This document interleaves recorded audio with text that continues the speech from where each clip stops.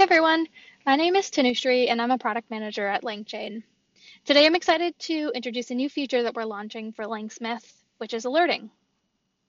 In this video, we'll walk you through creating your first alert and also show you the different configuration options that we support for configuring alerts in LangSmith. So we have this application called Chat LangChain. Chat LangChain is an agent that you can use to ask questions about LangChain, LangGraph, or LangSmith. Our customers use this pretty heavily, so it's important to make sure it's fast, reliable, and has quality answers. We have a dashboard set up for Chat LangChain that monitors some important metrics, one of which is application latency. You can actually see in the last week or so, we had a spike in application latency that we've since fixed, but the only way to learn about this would be to go to a dashboard and to view the stats.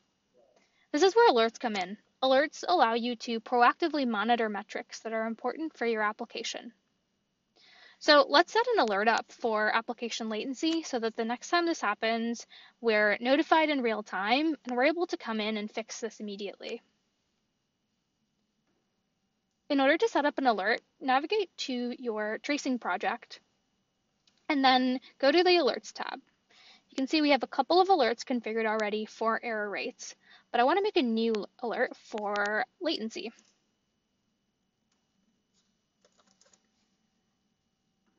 So today we support alerting on three different kinds of metrics, error runs, feedback score, as well as application latency.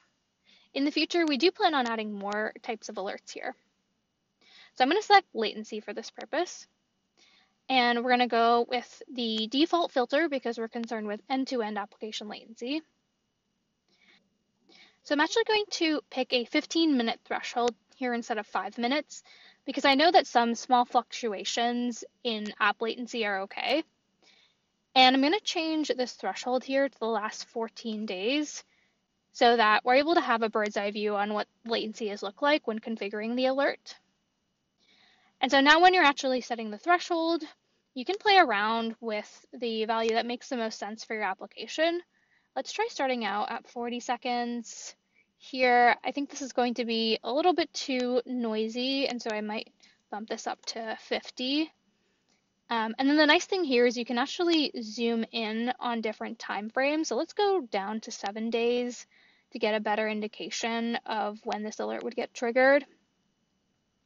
Okay, I think this, this I'm happy with allow us to minimize the number of false positives while still alerting when we see interesting spikes. And then to set the notification, we support two options today. You can configure a notification with PagerDuty or send an alert to a webhook. In this case, I'd like to set up alerts for our team Slack channel, so I'm going to pick the webhook option. And in our documentation, we have an overview of how you can send alerts to Slack using a webhook. There are a few steps involved before you get to the LangSmith configuration. So you need to create a Slack app, configure permissions, install the app to your workspace, uh, and then navigate to LangSmith to actually configure the alert. I've already done all of these steps, so I'm going to go ahead and configure my alert now. And in our documentation, we also provide a template for a uh, an example request body that you might want for your Slack alert. So I'm going to be working off of that. So you can see I've added the name of my alert here. I've added some text about which alert has been triggered because I have multiple alerts that are set up.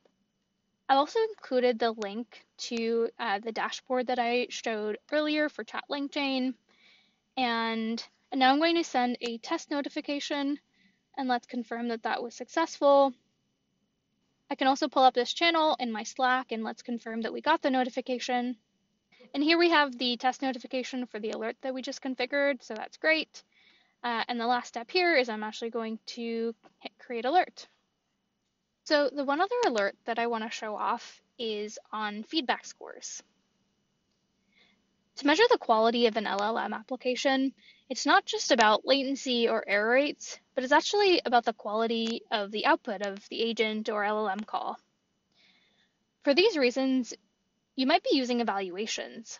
And specifically, you can configure online evaluations that allow you to measure various aspects of an application's responses. So for example here, we have this uh, LLM as a judge evaluator for helpfulness. This measures whether the response that the agent provided actually answered the user's question.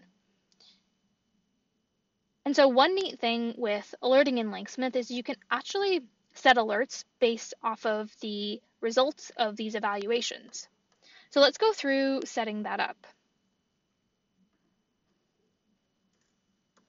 I'm going to set my alert name to helpfulness. And in this case, we're going to pick this feedback score metric. I'm going to select the same evaluator that I had just shown, and let's increase the time range a little bit. We can see that there are time periods where our online LLM as a judge evaluator had outputted scores that were much lower than what we would want in terms of quality. So let's set a threshold for this. We're going to have to make this less than or equal to, and in this case, I'd like to set the threshold around 0.8. And if our quality ever dips below that, I want to get notified so that we can dig into what the issue might be. Similar to the last alert, I'm going to create a webhook notification here. And I'm going to go ahead and create this alert. That wraps up alerting. Alerting is a really powerful feature that you should be using if you're already sending your production traces to LangSmith. If you don't have tracing set up yet, I'll include some links in the description below on how to get started with that, as well as links to documentation so that you can get started with alerts today. If you have any feedback, please feel free to reach out over Slack. We'd love to hear what you think.